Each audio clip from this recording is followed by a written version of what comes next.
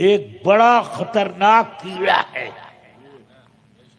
सुलह कुल्ली। सुन्नियों में सुन्नी। वहाबियों की तारीफ़ कर कर के लोगों को वहाबी बनाता है। समझ गए? उनका रास्ता इधर से उधर तब्दील करता जाता है। ऐसे लोग भी हैं, पढ़ाते भी हैं। इमामत भी करते हैं, तकरीर भी करते हैं, पीरी मुरीदी भी करते हैं। समझ गए? तो अब ऐसे लोगों से बचकर रहो। एक पीर ऐसा निकला, या अल्लाह, वो अपनी खूब करामतें करवाता है, अपने मदरसे से, मदरसे के तलबा से। अपनी एक मनकबत पढ़वाई और खुद खड़ा हुआ लड़के सब बांट करके मदरसों में जैसे मुस्तफ़ा जाने रहमत पे लाखों सलाम पढ़ते हैं, सुबह के वक्त वैसे अब एक मनकबत की पढ़ रहे ये मेरा खुदा है, ऐसे उंगली उठा उठा कर ये मेरा खुदा है ये मेरा खुदा।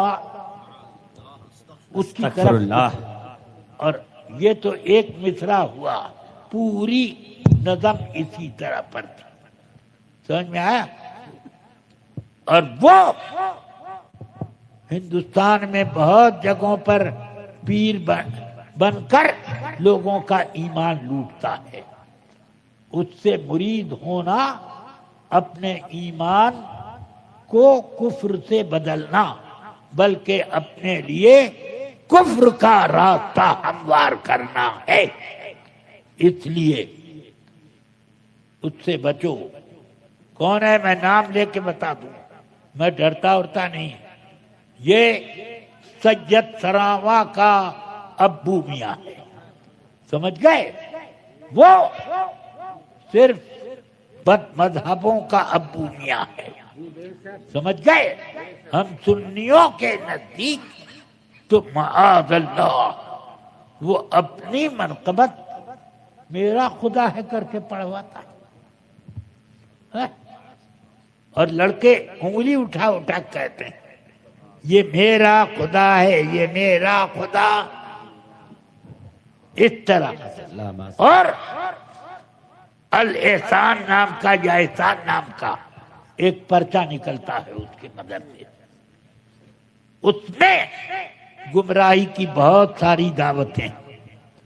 हमेशा यही तरीका उसका चलता।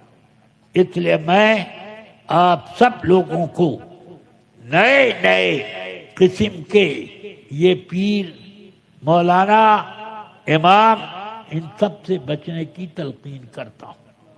समझ गए? अल्लाह का ताला आप सबके ईमान की हिफाजत करे।